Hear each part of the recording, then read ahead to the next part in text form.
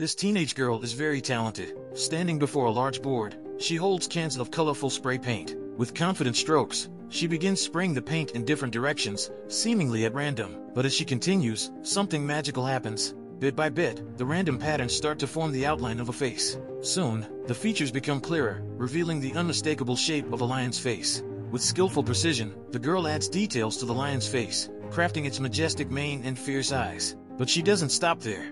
To enhance her artwork, she incorporates other animals into the lion's mane. As onlookers watch in amazement, the girl's creation comes to life, a magnificent lion with a menagerie of animals adorning its mane. Her talent shines brightly as she transforms the once plain board into a vibrant masterpiece. It's a testament to her creativity and skill. To see more of her incredible creations, be sure to follow her page or subscribe to her channel. You won't want to miss the wonder of her imagination brought to life through her art.